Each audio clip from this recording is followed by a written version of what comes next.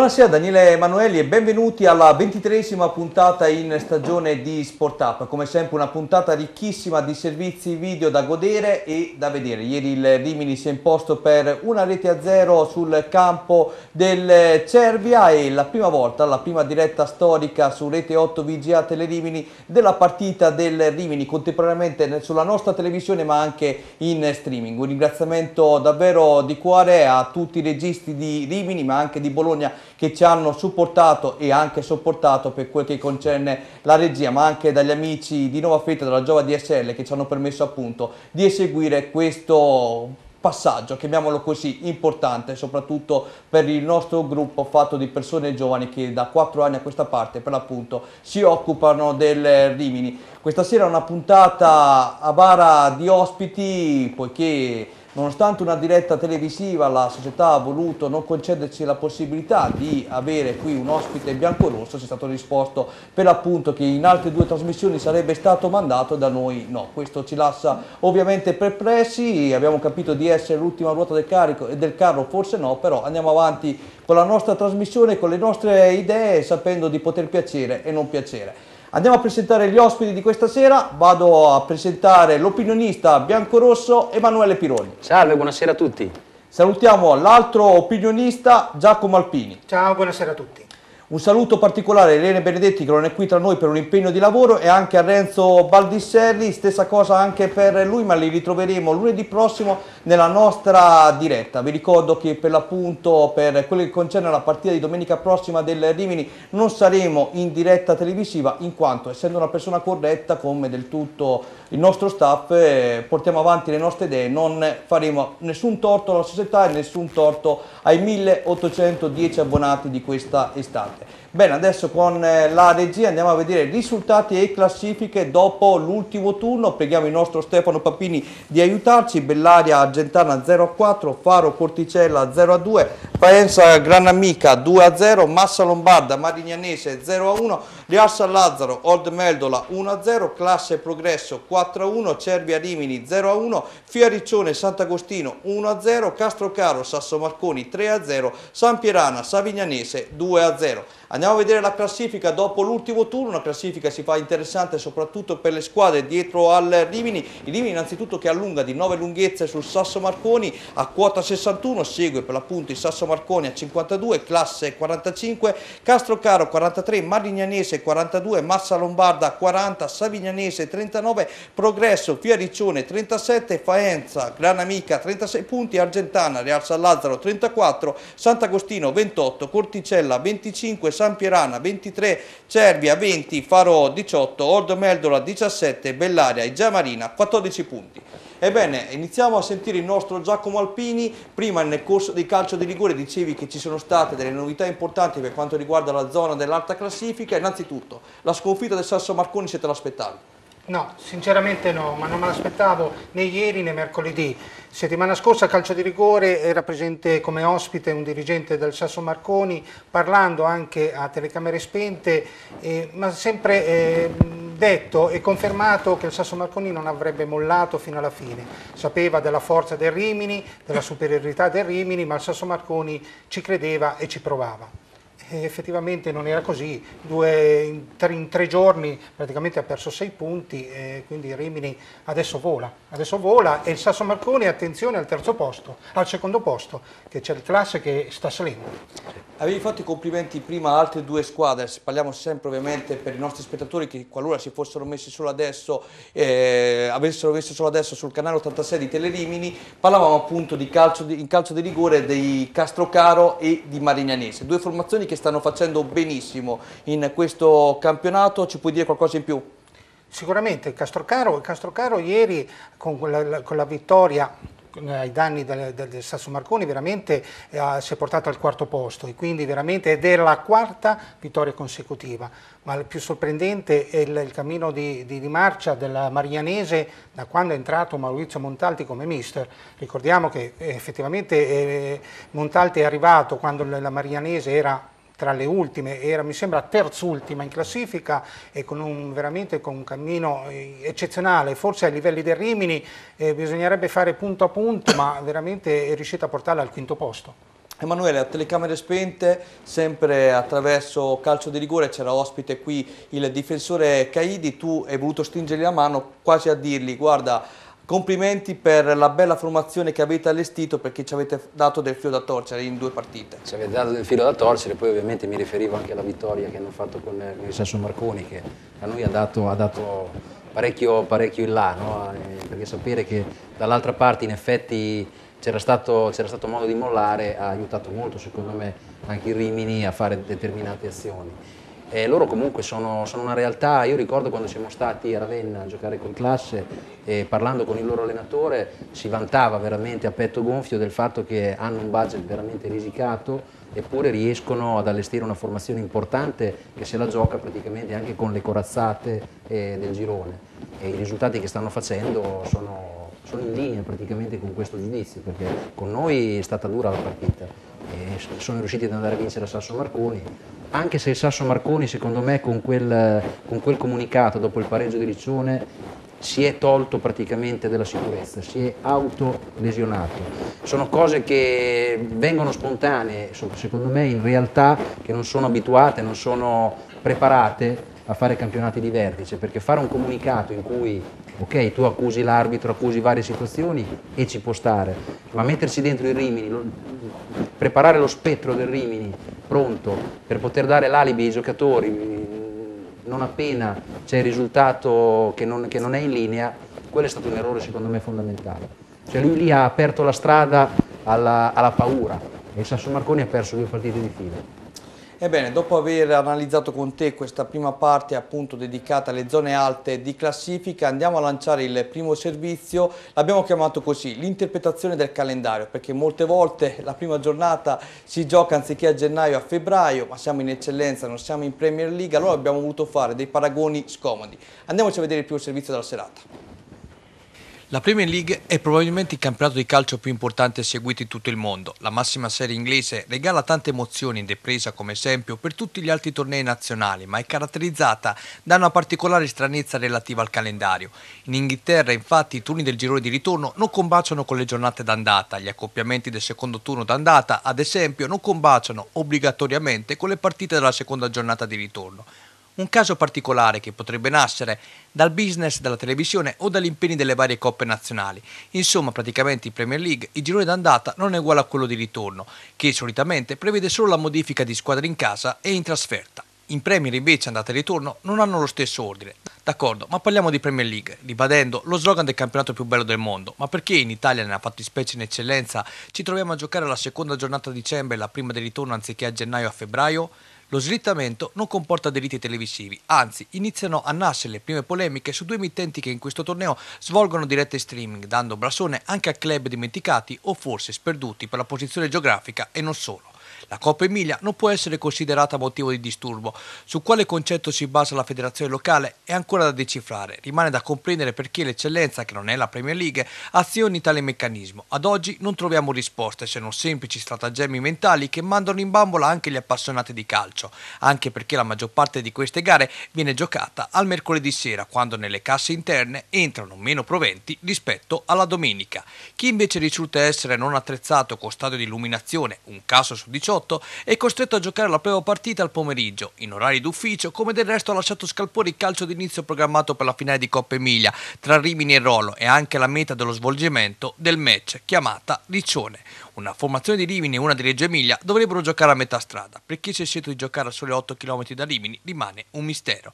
Non sono ammesse scusanti del genere, non c'erano altri impianti disponibili. La verità sta sempre nel mezzo, ma c'è chi prima o poi abbandonerà la scelta del dialogo, rinunciando ad iscrivere la propria squadra. E poi, se da 18 formazioni il numero di girone dovesse scendere a 16 o 14, come avviene in alcune regioni d'Italia, senza probabili ripescaggi, non lamentiamoci, perché se si proverà a chiedere in federazione, ti risponderanno con la solita scusa che sa di motivazione banale, perché forse anche loro non sanno più che pesci prendere. A questa critica associamo quella del questore, perché vietare la trasferta a Savignano ai tifosi del Rimini e dare il pollice alto per quella di Cervia non è Milano Marittima tempio di tifoseria bianconera cesenate? È proprio il caso di dirlo. L'Italia gira a vuoto come spesso fa una squadra quando con il pallone dimostra proprio di non avere feeling, precipitando sempre più in basso.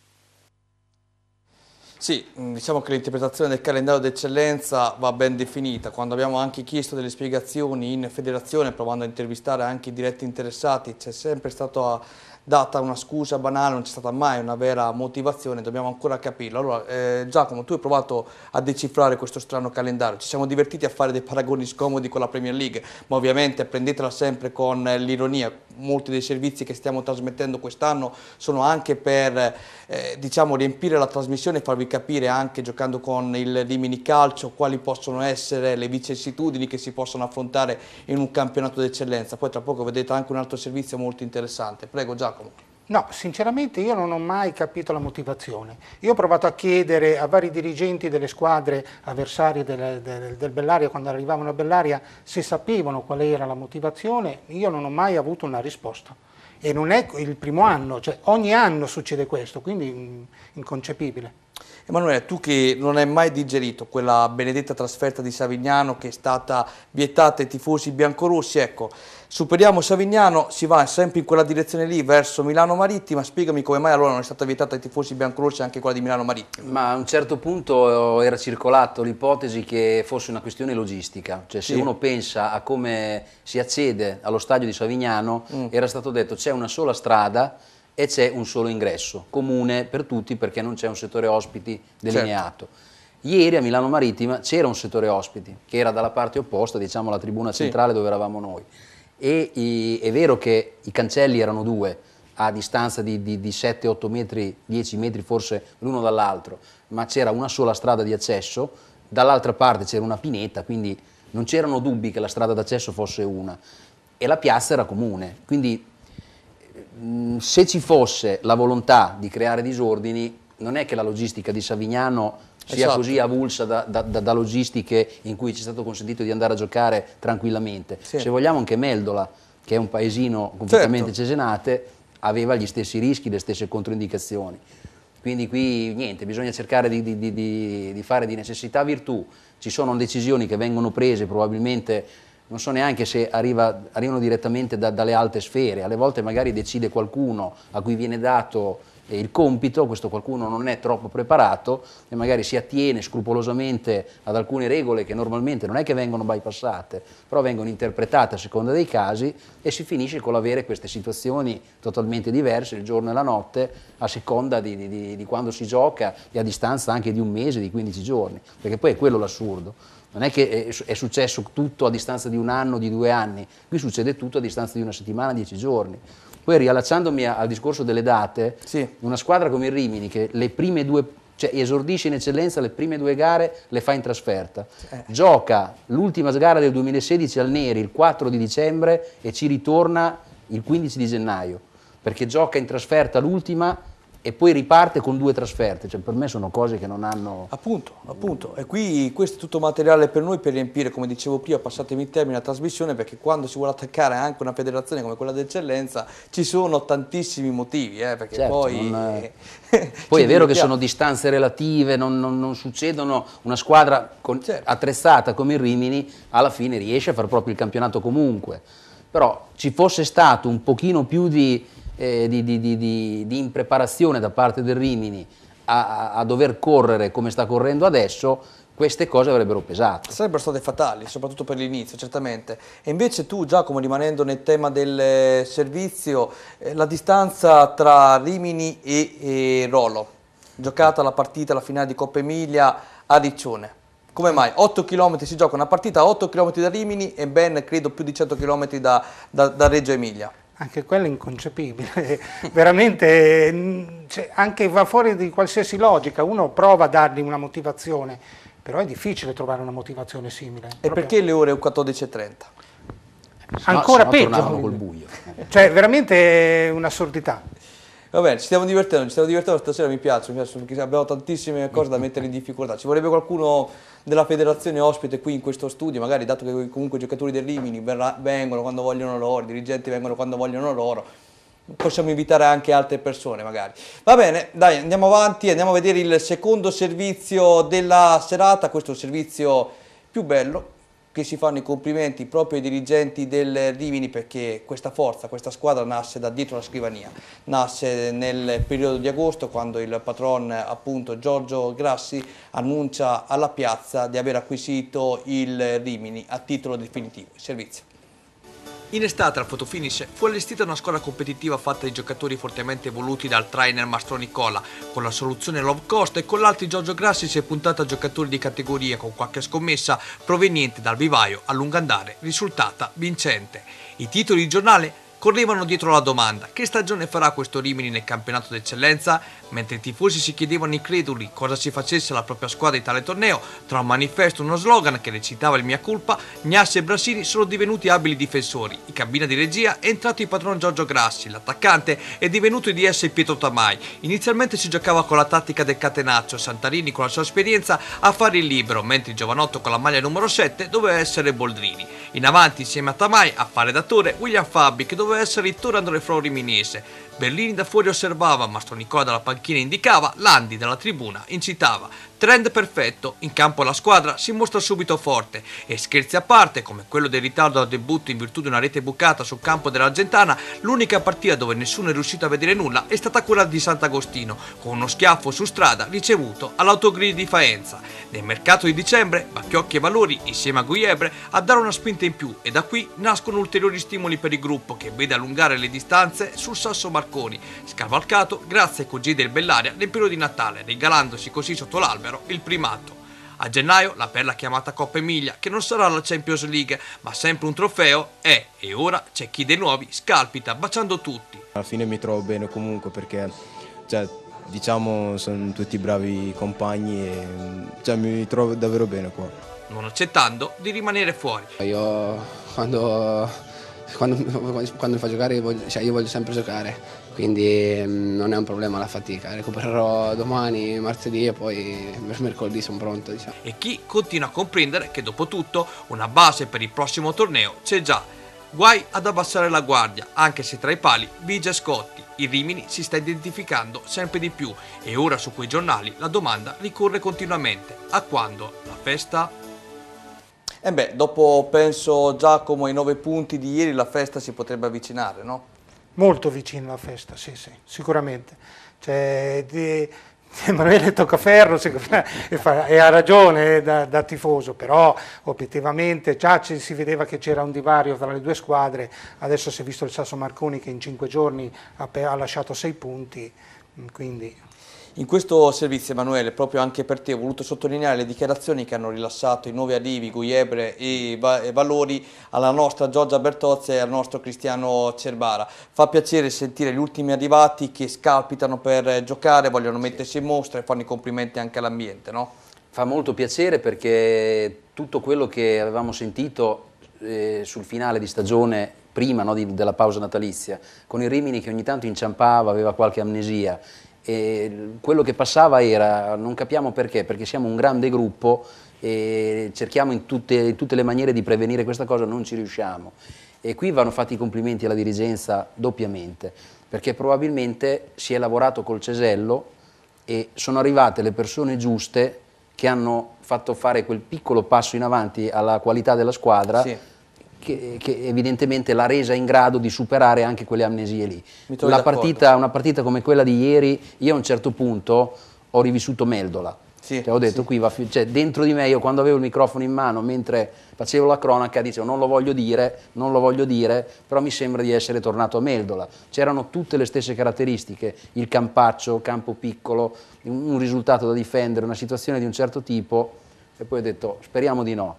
Ieri c'è stata la forza di fare tutto quello che andava fatto e la forza è arrivata anche non, non, non solamente proprio dalla fisicità del giocatore, perché Bacchiocchi alla fine non c'era, è dovuto uscire, che anche lui per un piccolo risentimento, però è, è stato aggiunto qualcosa nel gruppo che probabilmente sì. mancava.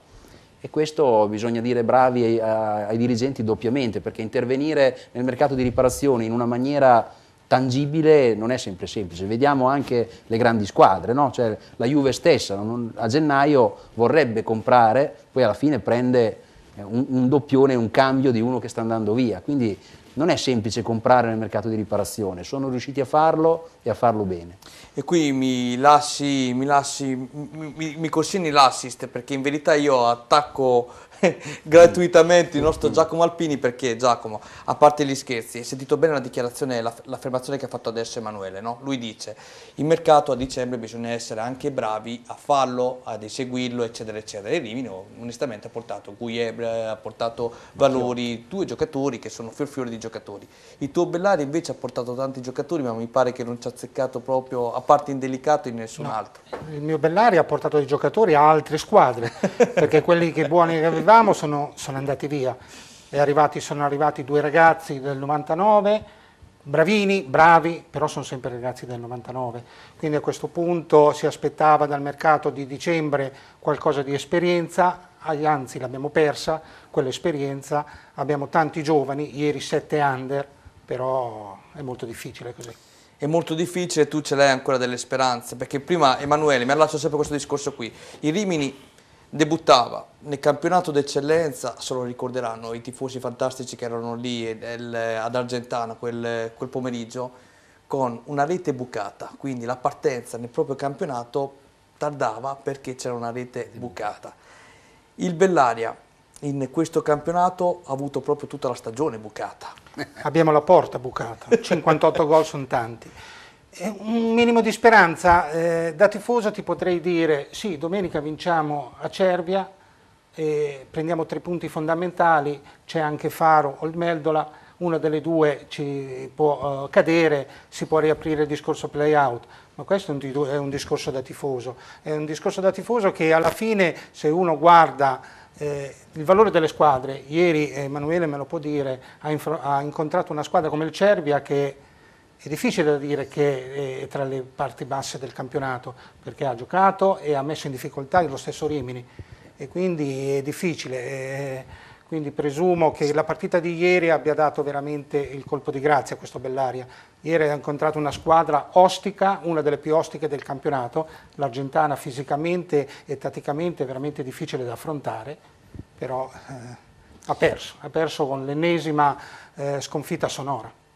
Ebbene, allora l'avete introdotta voi, avete parlato appunto del Cervia, andiamo a vedere quello che è successo ieri tra Cervia e Rimini. Servizio. Il Rimini torna in campo a distanza di quattro giorni dopo l'ultima vittoria interna con l'Argentana. Milano Marittima è terra di turisti, ma il Rimini desidera oltre alla prenotazione acquisire terreno, divertendosi e regalandosi l'ennesima vittoria in stagione. Sugli spalti c'è area di curiosità attorno alla capolista, anche se a di Ribero sia in tribuna centrale che nel settore ospiti, i tifosi biancorossi riempiono in gran numero lo stadio Todoli. Richiuti parte dalla panchina, in avanti fiducia a Bonaventura e Valori, con quest'ultimo subito protagonista quando dall'angolo di Righini riesce ad arrivare al tiro con la difesa locale che allontana il pallone sui piedi di Gabrielli, quale chiama al primo intervento del match Bragion. Sempre dalla bandierina, biancorossi nuovamente insidiosi quando Righini chiama l'attenzione Bragion con la sfera che termina sui piedi di Valori ma ancora una volta viene murato dalla difesa giallo-blu. Bacchiocchi dalla distanza mostra l'emblema dei Rimini, pericolosità uguale allo zero. Dall'ennesimo calcio da Femo battuto da Righini, brividi in area locale con Bragion che anticipa Cola che nell'occasione si fa male, costretto successivamente ad abbandonare il campo, portato fuori dall'equipe medica. Segno di incoraggiamento per l'ex Sant'Arcangelo da parte del trainer Mastro Nicola e si riprende con l'ultimo tentativo di un opaco primo tempo che arriva da Arlotti ma il tiro cross viene deviato in corner dalla difesa di casa. Nella ripresa a Cola si aggiunge Bacchiocchi, costretto a lasciare il campo per noi muscolari, ma il Rimini alla prima occasione passa. Arlotti innesca lo sprint sulla fascia, mentre al centro, dove c'è un vero di giocatore biancorosso che scaturisce il perfetto inserimento di Bonaventura che da due passi centra il sedicesimo gol in stagione tra l'abbraccio dei compagni e di Adrian Ricchiuti che nonostante la panchina odierna è il primo ad applaudirlo, sinonimo anche questo di gruppo coeso e di squadra fortissima. La Sallotti Bonaventura si ripete poco dopo quando il ragazzo di Coriano pennella al centro dell'area di rigore e il pennello cinghiale chiamato Bonaventura di testa chiama alla presa Bragion. Cicarevic, entrato per l'appunto a posto di Bacchiocchi, 60 secondi più tardi, cerca la via del gol. Numero di alta scuola, ma la retroguardia locale chiude, mentre dall'altra parte Candoli spara alle stelle. A far dimenticare la conclusione sbilenca al compagno ci pensa Sov che su una leggerezza di Scotti trovata gratuitamente nel percorso chiamato campo quasi quasi beffa il buon Francesco che oltre ad essere santo di nome sulla linea di porta dimostra di avere diversi discepoli a falli da guardia, via dunque a San Brighi. I Rimini affonda nuovamente, cambiano gli interpreti, Signorini vola sulla fascia, Valore arriva alla conclusione ma sulla strada c'è la deviazione di Severo Serri a negare la gioia del gol all'ex Sampierana. Punizione di Righini, Bragione nella presa, si reca qualche brivido da solo. Fidone nel frattempo fa le prove del gol, mentre Domini riscalda i guantoni a Scotti con una punizione telecomandata. Alla mezz'ora, proprio nel entrato Fidone, si inventa una cannonata pazzesca che sbatte sulla traversa, con l'arbitro ingannato da una deviazione di Scotti che in realtà non avviene. Domini da calcio piazzato prova ad imitare il padre, ex Brescia e Cesena, ma la sua traiettoria viene sporcata dalla barriera. Quando sembra esserci il preludio al secondo gol, ecco che Valeriani sulla fascia mette al centro un tiro cross, più tiro che cross, dove il buon Bonaventura batte la testa ma non inquadra il mirino. Ma lo stesso attaccante, in pieno recupero, mette Valori nelle condizioni di andare in rete, ma sul pallone scatta anche Signorini che anticipa il compagno, va alla conclusione, Bragion respinge proprio sul piede caldo di Valori, che spedisce alto. Ma tutto questo non causa nessun danno, i tifosi si alzano in piedi a triplice fischio finale, tutta la squadra si reca verso la parte più calda della tifoseria per salutare e ricevere i meritati applausi. Se Milano Marittima doveva essere terra di gita e di semplice vacanza, per il Rimini è divenuto, visto la sconfitta del Sasso Marconi, più di un passo verso la Serie D e se da queste parti un tempo si celebrava i reality campioni, il Rimini ha raccolto degnamente tale attributo. Eh, vedete, le immagini mi, mi, fanno anche un po' riflettere qui in diretta perché eravamo lì a fare una prima diretta storica per quanto riguarda Rete 8 Vigia Telerimini appunto di Cervia Rimini e stasera non abbiamo neanche l'ospite per poterla commentare quando chi non c'era ieri è stato anche accontentato con l'ospite. Poi si dice che bisogna essere educati in televisione, cerchiamo di essere professionali giornalisti fino alla fine, però è difficile, è difficile veramente mantenere la calma. Allora, eh, prima di arrivare a te Emanuele, Giacomo, eh, Sov è un attaccante sicuramente che ha avuto la grande opportunità regalata appunto da Francesco Scotti, no? però è un attaccante che tu dicevi Cerve è una bella squadra, ben organizzata, domenica prossima infatti c'è Cerve e Bellare, tu avrai modo di vederli dal vivo, però sembra che manchi proprio la punta di riferimento, un vero bomber lì davanti, questo è il problema di questa squadra. Nella, nella, formazione di ieri però mancava Bondi squalificato. Tolto Bondi, tolto Bondi. Io li ho visti la settimana prima a Savignano e anche lì aveva giocato Bondi, non aveva giocato So. Quando è entrato So eh, la partita è cambiata anche a Savignano, però era già sul 2-0, quindi era molto difficile recuperare. A mio avviso, mh, a vederli tutti e due in campo formano una coppia d'attacco non male, anche perché mh, i gemelli Candoli qualcosa cominciano a dare, visto l'età. No, sono d'accordo, sono d'accordo con quello che dici te, mancava Bondi che è sicuramente un riferimento importante per loro, però ieri c'è da dire anche che comunque, come dicevi tu Emanuele, è stata una partita per certi versi che ha ricordato quella con il Meldola, poi il solito Bonaventura, Giacomo qui si prende per l'ennesima volta, gonfia il petto perché ha avuto ancora una volta ragione contro Renzo Baldisserri, si prende i meriti, meriti che comunque, eh, passatemi il termine, la ripetizione merita perché ancora una volta ci ha messo la zampata sì, decisiva. Guardavo che la, allora, a lanciare Arlotti è stato Cicarevic, infatti non ricordavo l'azione. Cicarevic che era andato a posto i Bacchiocchi. Esatto, è stato il bellissimo scambio Cicarevic Arlotti. Arlotti è andato sul fondo, l'ha messa in mezzo, Bonaventura è sempre dove deve essere, a quel punto lì aveva la porta veramente spalancata davanti, ecco, e qui c'è il gol. È chiaro, che, è chiaro che Bonaventura, il fatto che sia dove deve essere e che segni, ed è, è, è, un grande merito e applausi a Buonaventura, però io questo gol qui ad Arlotti gliene appiccico la metà, sì. perché è riuscito ad andare a prendere un pallone in profondità e a fare un cross eh, ottimo nella posizione giusta, e metà del gol se vogliamo è suo. Io anche ieri durante la diretta dicevo qui serve un guizzo, serve un qualcosa di importante. L'hai detto in quel momento, l'ho detto, pochi, l'ho detto pochi istanti prima perché avevamo guardato la partita tutto il primo tempo praticamente Righini all'altezza del cerchio centrale del campo che osservava 20 giocatori che si marcavano uno con l'altro tutti fermi in un campo molto piccolo e in condizioni veramente pietose da un punto di vista del terreno di certo. gioco. Qui vediamo la leggerezza intanto proprio di Scotti, che è una tiratina d'orecchie va fatta. Eh? eh sì, qui sì, qui ha, diciamo che ha cincischiato un attimo in più e si è fidato un pochino troppo del suo mestiere e si è fidato anche un pochino troppo del fatto che Sou avrebbe avuto un po' di sudditanza no, nei confronti del portierone. E invece questi ragazzi non sempre hanno eh, questo tipo di, di, sudditanza nei confronti dei totem del calcio. Poi qui era stato anche bravo a concludere con un pelo di, di velocità in più Brighi non ci sarebbe arrivato. E sarebbe stato un risultato difficile poi da recuperare perché sull'1-1 con pochi minuti da giocare a quel punto forse il risultato veniva scritto non ci saremmo magari strappati i capelli oltre misura, però qualche certezza te l'avrebbe tolta. Invece saper soffrire, saper portare a casa i risultati anche in questa maniera qui, secondo me dà ulteriori certezze, perché non si può vincere sempre. Adesso uscivamo da cinque, cinque gare ravvicinate, non si giocava ogni tre giorni. È chiaro che non puoi pretendere di fare sempre da 3 a 5 gol e non puoi pretendere di rullare tutti gli avversari come ieri il Trattorino ha rullato il campo sino a un quarto d'ora prima di cominciare. Ci sono anche partite dove soffri la, la, la prestanza fisica dell'avversario, soffri il fatto che tatticamente si erano impostati bene. Sì, squadra... Loro non volevano subire gol e ce la stavano facendo. Sì, sì, era una squadra ben organizzata, nulla da dire, molto compatta, veramente ben messa in campo. Non hanno subito no. più di tanto, neanche una volta in svantaggio, quando tentavano in tutti i modi di arrivare al pareggio. Hanno avuto alla fine le loro occasioni, perché c'è stata una traversa e c'è stato il salvataggio di Brighi, e noi abbiamo prodotto due o tre occasioni per fare il secondo, però non hanno subito una quantità industriale di azioni no.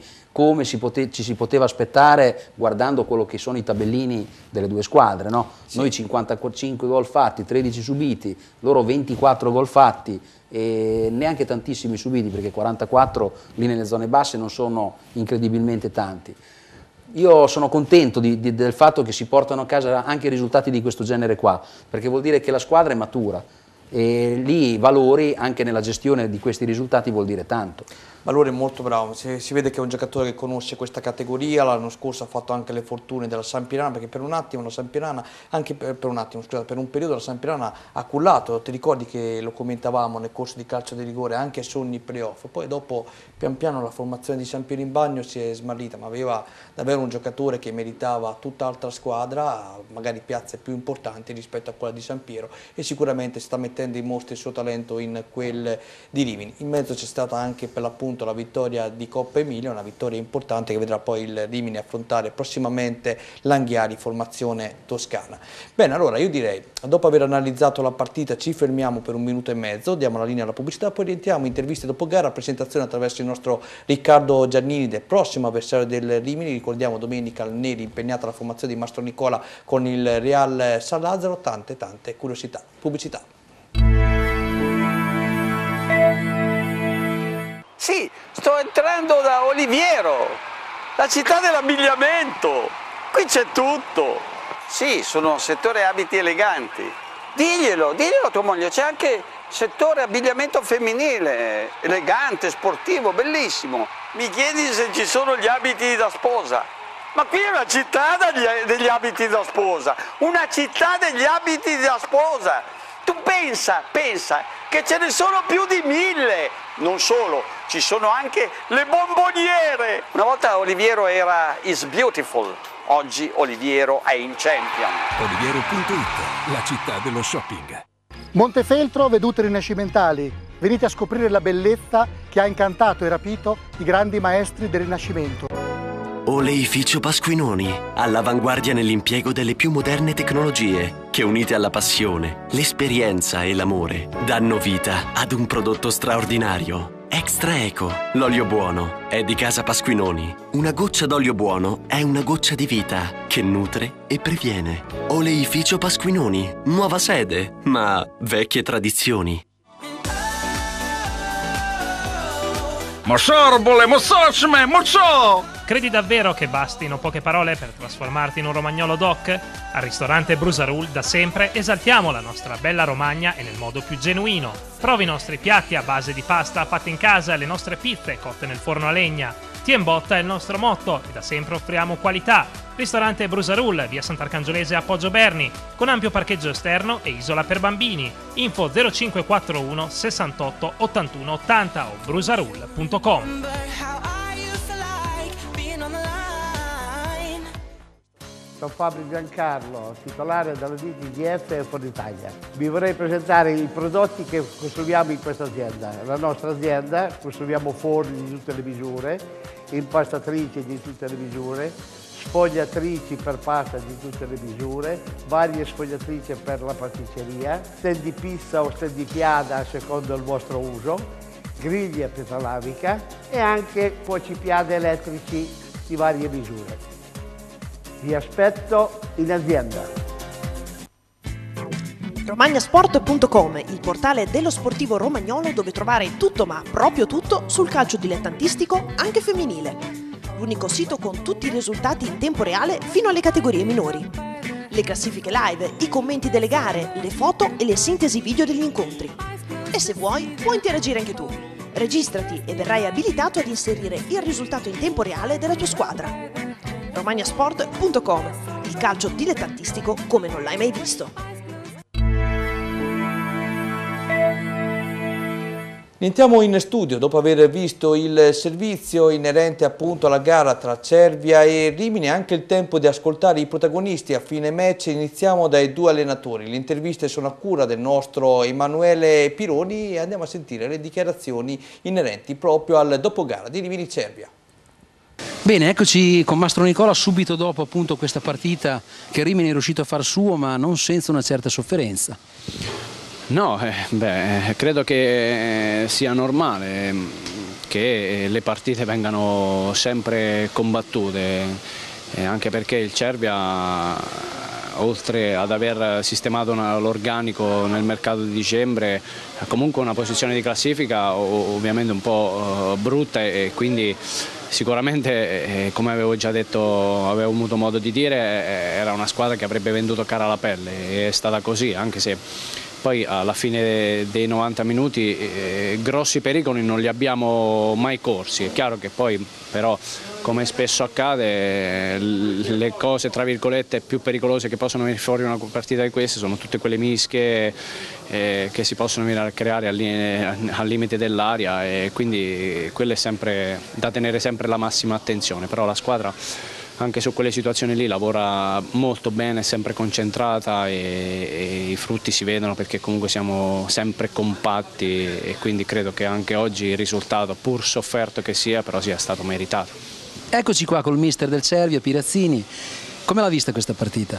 Mm, dalla panchina non benissimo, nel senso che avevamo preparato questa partita affrontando due realtà diverse, il Rimini in testa al campionato e noi là dietro che lottiamo per salvarci. Sapevamo della forza del Rimini, l'avevamo preparata bene, eh, giocando dietro la linea della palla, con le ripartenze, sfruttando le palle native. Un, uh, prendere gol dopo 4 minuti dall'inizio del secondo tempo, uh, sono curioso di vederlo stasera uh, in tv perché secondo me è un evidente, eh, evidente fuorigioco, ci ruga tanto. Poi, ripeto, mm, parliamo di due realtà diverse, Rimini che sta vincendo, vincerà, stravincerà il campionato, il Cervio che dobbiamo lottare da salvarci. Peccato perché un, ritengo che un punto era alla nostra portata, potevamo uscire benissimo con un punto per dare continuità al nostro gioco, ma ormai è andata, complimenti a Rimini, pensiamo al Bellaria domenica. Bene, che, che prospettive vede per il Cervia da qui alla fine?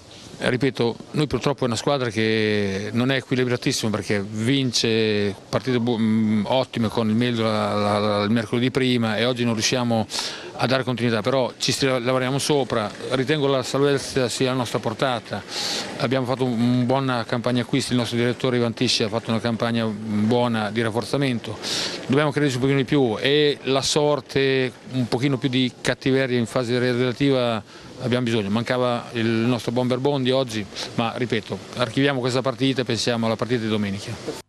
Roberto Pirazzini, che tra l'altro avevamo già conosciuto lo scorso anno nei nostri studi di calcio di rigore di Telerimini, davvero un allenatore molto preparato. Sta avendo qualche difficoltà in più il Cervia, come ricordava appunto nei dati statistici dati da Emanuele Pironi, 44 gol subiti sono tanti, se si pensa che anche l'ultima squadra in eh, corsa per la salvezza, per appunto il Bellaria, ne ha subiti ben 50. Pensate un po', queste sono statistiche importanti, sicuramente statistiche che piacciono tanto al nostro opinionista vulcanico Renzo Baldisseri, che ne approfittiamo ancora una volta, questa sera non c'è, lo salutiamo come salutiamo anche la nostra Irene Benedetti, saranno qui tra noi lunedì prossimo entrambi impegnati con il lavoro secondario. Bene, eh, domenica ci sarà anche una rivoluzione per quanto riguarda il palinsesto, l'avevo detto prima, non ci sarà la diretta in casa del Rimini, una scelta nostra, lo ripeto ancora una volta, per i 1810 abbonati, ma anche per una forma di rispetto verso la società per anche avere un incasso più importante, no? mettiamola così, soprattutto in tornei minori come quelli d'eccellenza ripeto, sottolineo la parola correttezza che è molto importante, stasera qualcuno dei Rimini dovrebbe imparare a conoscere. E volevo andare avanti con le interviste perché poi sempre il nostro Emanuele Pironi eh, si è divertito a intervistare i due protagonisti più importanti del match, l'autore del gol Alex Bonaventura ma anche chi gli ha servito il pallone delizioso per l'1-0, l'1-0 poi decisivo, ricordiamo ancora una volta, ovvero Scott Arlotti. Le interviste. Eccoci qua con Scott Arlotti, assoluto protagonista di questa gara. Com'è andata? Le tue, le tue sensazioni? Non era una partita assolutamente facile in un campo per, a cui noi non siamo abituati, però penso che ce la siamo cavata molto bene, il secondo tempo soprattutto. Abbiamo, dato, abbiamo messo una marcia in più rispetto agli altri a par subito a partire dal secondo tempo, quindi sono contento. Io in cronaca diceva serve, serve un guizzo, serve un affondo, serve qualcuno che butti il cuore entro lo scatolo, oltre l'ostacolo. In quel momento Scott, piegato la testa, è andato sul fondo. Sì, no, il mister mi ha spostato sull'esterno, quindi mm, come, come, sempre mi chiede sacrificio, abbiamo fatto un'azione sulla sinistra, e le proviamo spesso anche in allenamento, quindi abbiamo fatto una bella azione.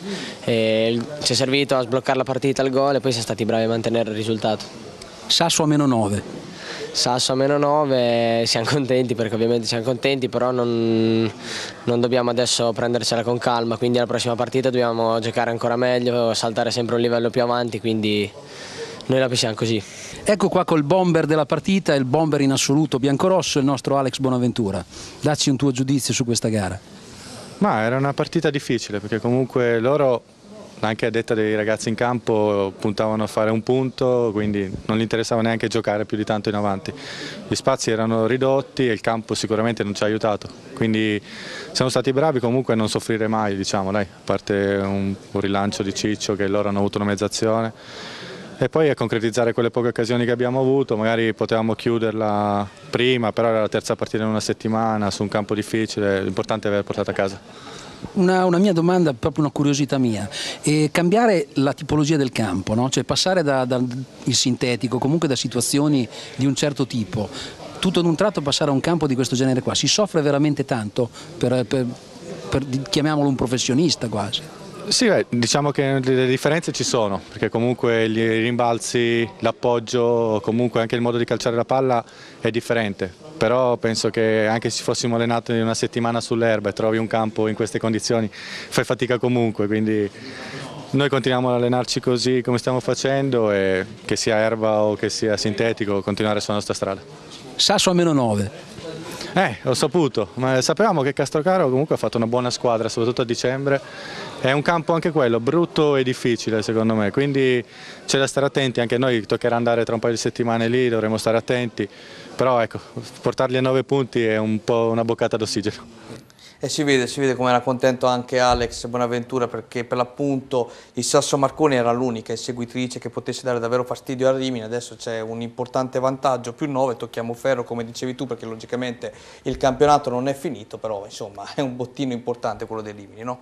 Sì, diciamo che il bottino è di quelli veramente pesanti perché 9 punti sono veramente tanti e soprattutto guardando le gare che separano i Rimini dalla fine del campionato c'è la trasferta di Faro che io ho sempre temuto in maniera particolare perché è un campo abbastanza particolare, probabilmente molto simile a quello di ieri. Ostico, campo ostico. È, è, tutta una location eh, dove ti aspetteranno in una maniera abbastanza particolare, però con nove punti di vantaggio ci vai anche con un pochino più di, di respiro, un po' di tranquillità.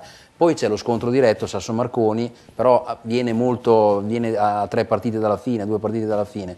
Quindi se ci arrivi sempre con 9 punti vuol dire che praticamente il grosso della pratica è stata fatta. Le altre sono tutte gare dove in teoria se tu mantieni i nervi saldi non dovresti avere particolari problemi a uscirne bene. Quindi diciamo che io sono moderatamente ottimista, Dai, non, non, mi voglio sbilanciare troppo, però penso che ieri quel, quel quarto d'ora di sofferenza alla fine che ci ha permesso di andare a più 9 eh, conta veramente tanto.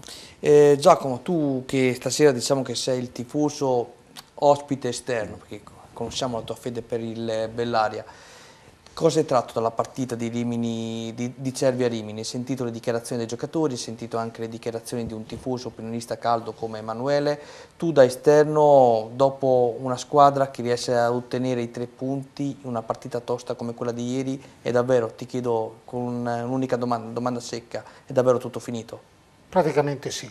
Ieri, oltre ad aver incontrato una squadra ostica, come ha sottolineato Bonaventura, era un campo anche ostico giocando e allenandosi sempre sul sintetico, trovare un campo pesante così è molto faticoso.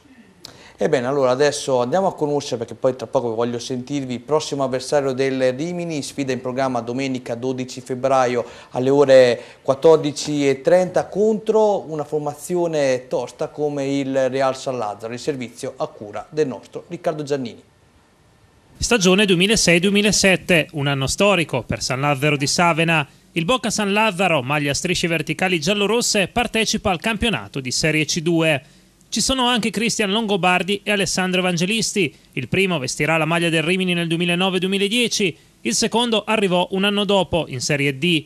In rosa anche due giocatori come Emiliano Bigliotti e Ruben Spasino, protagonisti in Serie B con le maglie di Ravenna e Modena, e un giovanissimo Francesco Stanco, attaccante del vivaio del Modena, che ha poi avuto una buona carriera tra i professionisti con la maglia dei Canarini e che oggi veste la maglia della Cremonese.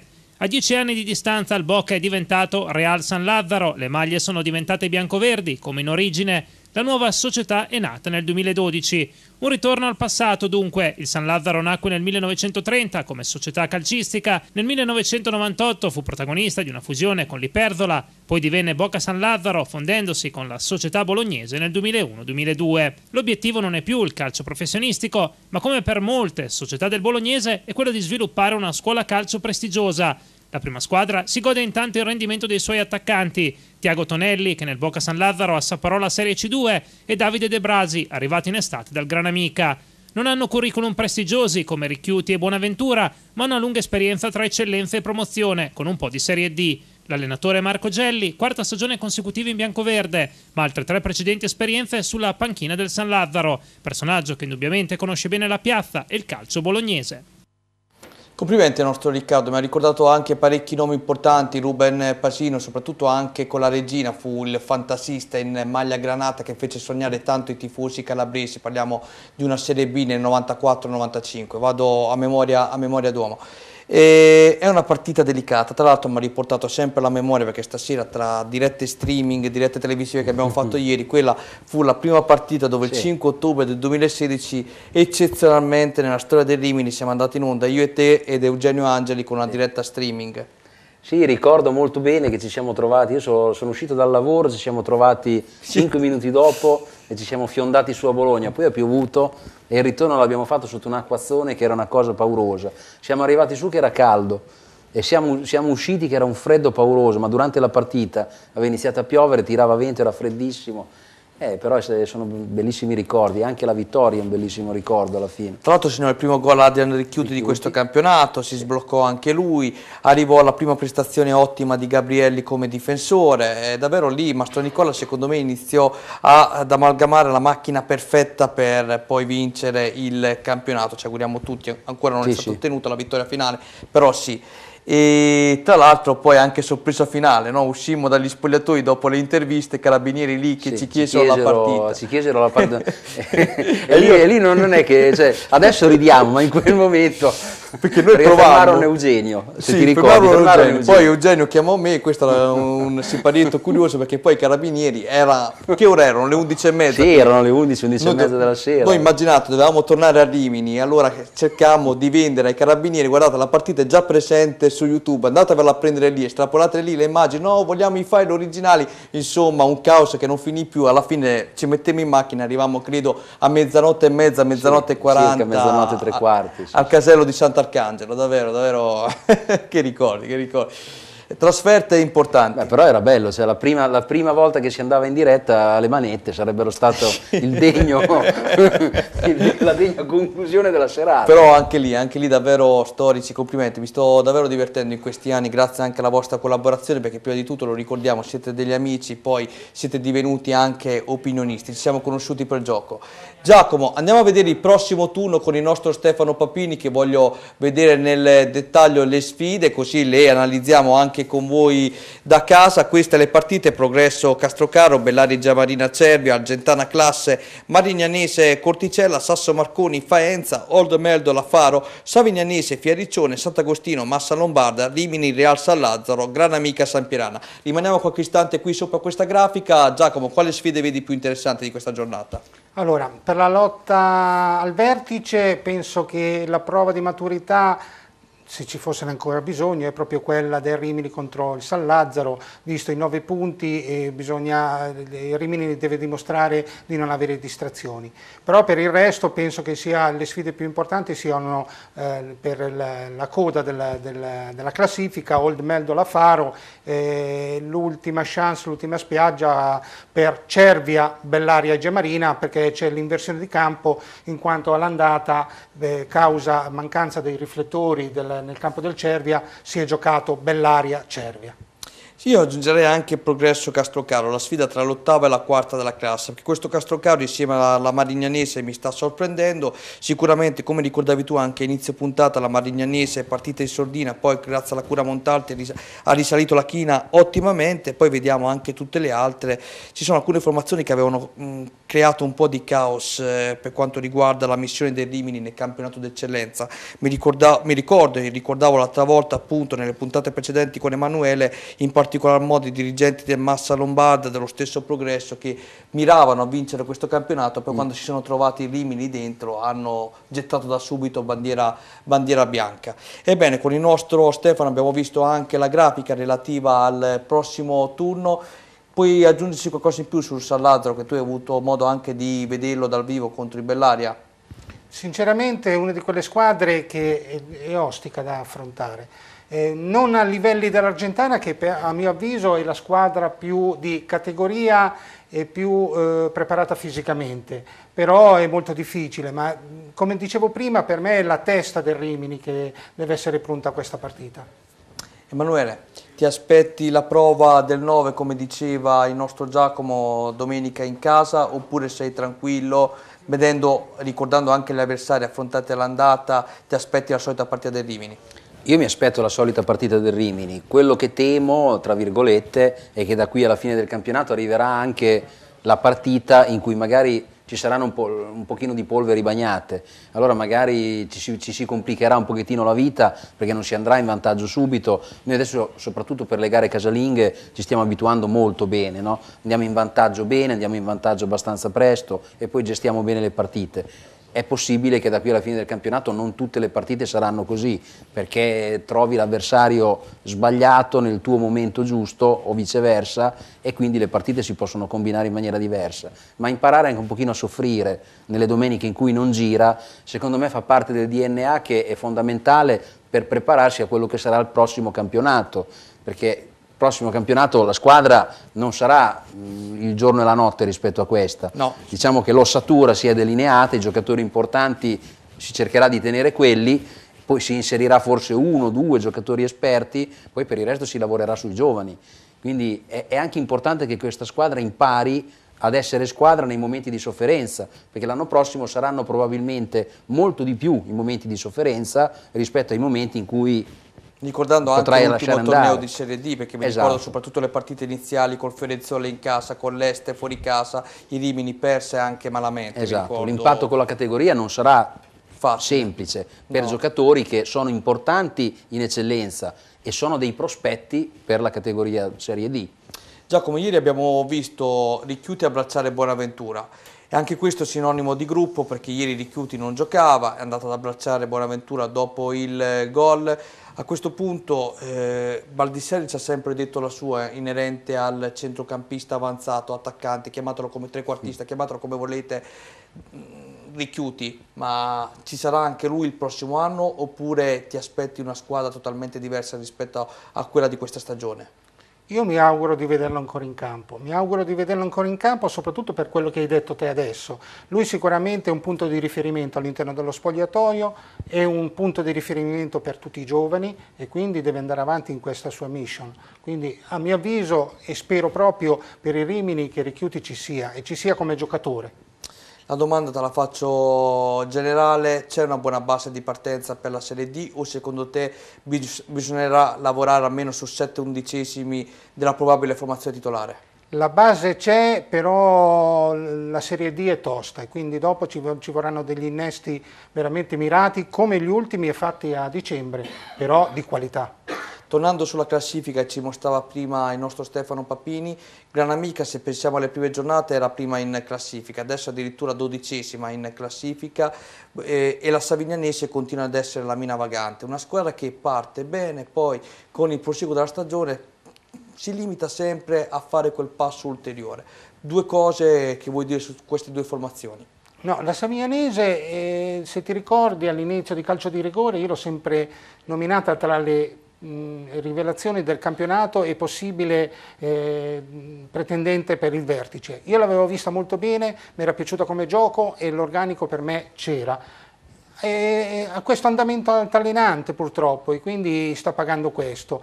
Per il Gran Amica eh, sinceramente io fin dall'inizio non mi aveva convinto come squadra, però è una squadra di categoria con i giocatori di categoria, quindi alla fine la, la posizione centrale credo che sia la dimensione migliore per loro.